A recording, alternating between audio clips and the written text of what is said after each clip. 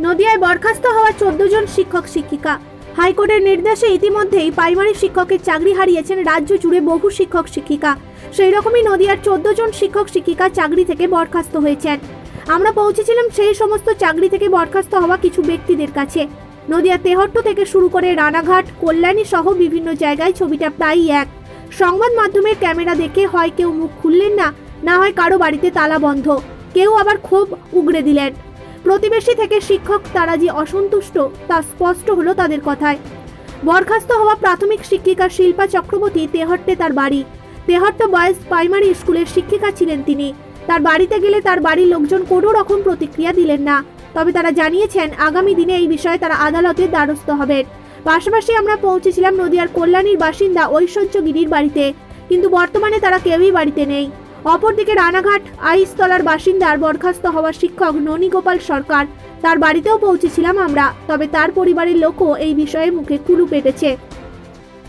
অপরদিকে মানুষজন বলছেন, তারা এই রায়কে স্বাগত জানাচ্ছেন। দুশো উনসত্তর জন কেন এর বেশিও যদি থেকে থাকে তাদেরকেও খুঁজে বার করা হোক। যেরকম অবৈধভাবে চাকরি পেয়েছেন অনুপযুক্ত প্রার্থীরা, সেরকমই উপযুক্ত প্রার্থীদের কেউ সুযোগ দেওয়া হোক, যাতে শিক্ষার পরিকাঠামো ভেঙে না পড়ে। বর্তমানে যুব সমাজ চাইছে অনুপযুক্ত প্রার্থীরা যেরকম পেয়েছে চাকরি, সেরকমই অনেক শিক্ষিত বেকার চাকরি প্রার্থীরা সারা বাংলা জুড়ে রয়েছে। তাদেরকে সুযোগ দেওয়া হোক, তবে হাইকোর্টের এই রায়কে তারা সর্বসম্মতভাবে স্বাগত জানিয়েছেন। টিচার শিক্ষিকা, তিনি চাকরি করতেন। কিন্তু যে ঘটনাটা শোনা যাচ্ছে, কি বলবেন ঠিক? বিষয়টা হচ্ছে, গত রাত থেকে আমি সোশ্যাল মিডিয়ায় একটা জিনিস খেয়াল করলাম যে দুশো উনসত্তর জনের চাকরি বরখাস্ত করেছে কোর্ট থেকে, হাইকোর্ট, কলকাতা হাইকোর্ট। বিষয়টা কেন করেছে সেটা জানার দরকার নেই, কিন্তু আবার জানার দরকারও আছে। কারণ পশ্চিমবাংলায় শিক্ষিত যুবকরা যেভাবে বেকার হচ্ছে দিন দিন, তার উপর ভিত্তি করে এই যে চাকরি চলে যাওয়াটা, এটা একটা বিশাল নেগেটিভ দিক। এই চাকরিটা কেন গেল? সত্যি যদি যোগ্য ব্যক্তি হয়ে থাকতো, তাহলে চাকরিটা যেত না। আর এটা অ্যাকচুয়ালি সোশ্যাল মিডিয়ায় দেখা যাচ্ছে। সত্যি কি আদেও চাকরি গেছে? আর যদি যায়, তাহলে সরকারের এখানে কি পদক্ষেপ? কেন চাকরি যাচ্ছে? এর জবাব তো পশ্চিমবাংলার প্রত্যেকটা জনগণ নেবে, প্রত্যেকটা শিক্ষিত ছেলেমেয়েরা নেবে।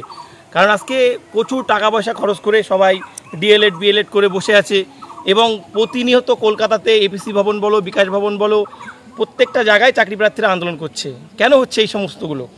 এর প্রতিবাদ শিক্ষিত ছেলেমেয়েরা করছে। তবে আমার মনে হয় সরকারের কিছুটা ঘাটতি আছে যার জন্য এইগুলো হচ্ছে। কেন হচ্ছে এইগুলো? এর বিরুদ্ধে একদিন শিক্ষিত ছেলেমেয়েরা সত্যিই রুখে দাঁড়াবে। ইমিডিয়েটলি সরকারের দরকার এই পদক্ষেপগুলো নেওয়া। কোন নেতা কোন মন্ত্রী কোন এমএলএ তারা এরকম করছে? তাদের এগেনস্টে অবশ্যই আমাদের কড়া পদক্ষেপ নেবে পশ্চিমবাংলার বাসী। তবে কালকের যে ঘটনাটা হয়েছে খুবই নিন্দাকর ঘটনা। এটা যদি সত্যিই হয়ে থাকে আমি চাইব পরবর্তীতে যেন এরকম ঘটনা না ঘটুক। শিক্ষিত এবং যারা সত্যিই যোগ্যতম তারা যেন চাকরি পায়। বলছি দেখেন এই যে এই অঞ্চলে প্রচুর ছেলে মেয়ে আছে যারা হচ্ছে শিক্ষিত। তাদের বাবা মা কষ্ট করে পড়াশোনা শিখিয়েছে যে তাদের ছেলে মেয়েরা একটা ভালো জায়গায় চাকরি পাক। সেই ক্ষেত্রে যে আপনি যেটা বলছেন যে শিক্ষিত ছেলেমেয়েরা চাকরি পাচ্ছে না এই যে গতকালের যে ঘটনাটা হলো শোনা যাচ্ছে যে টাকার বিষয়ে কিংবা হয়তো কোনো একটা বিষয়ে যে হয়তো টেট উত্তীর্ণ হতে পারেনি। টেট অবতীর্ণ থেকেও তারা চাকরি পেয়ে যাচ্ছে। এগুলো কেন পাচ্ছে? তাহলে সরকারের সাথে কি কোনো দালালের অবৈধ মানে চক্রান্ত আছে?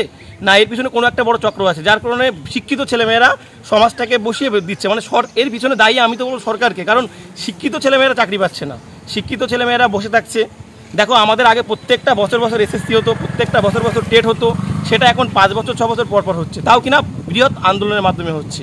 অথচ আবার দেখা যাচ্ছে যে দু হাজার চোদ্দোয় পরীক্ষা হয়ে যাচ্ছে দু হাজার পনেরো দু হাজার ষোলো দু হাজার সতেরো নিয়োগ হতেই আসছে। এই নিয়োগগুলো কীভাবে হচ্ছে? যারা যোগ্য তারা অবশ্যই চাকরি পাক আমরা চাকরি পাওয়ার পক্ষে কারণ আমরা ডিএড বিএড করে বসে আছি আমাদের দরকার চাকরি পাওয়ার। কিন্তু এইভাবে চাকরি করলে সরকারের পদক্ষেপ অবশ্যই নেওয়া উচিত। এর জন্য দায়ী কিন্তু মমতা ব্যানার্জি নয় এর জন্য দায়ী নিম্ন শ্রেণির কিছু নেতা। তাদের এই দুর্নীতির জন্য আজকে পশ্চিমবাংলার শিক্ষিত সমাজের এই হাল। কি নাম আপনার? রাজীব মণ্ডল। বলছি নাম নেব আপনার পুষ্পবধূর নাম কি?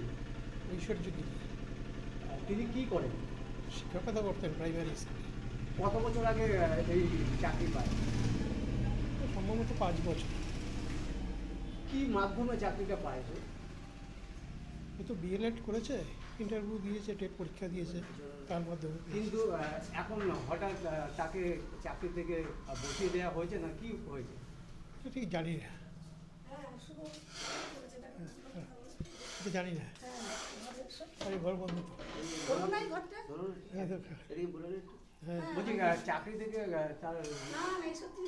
আমি জানি না বলছি তো।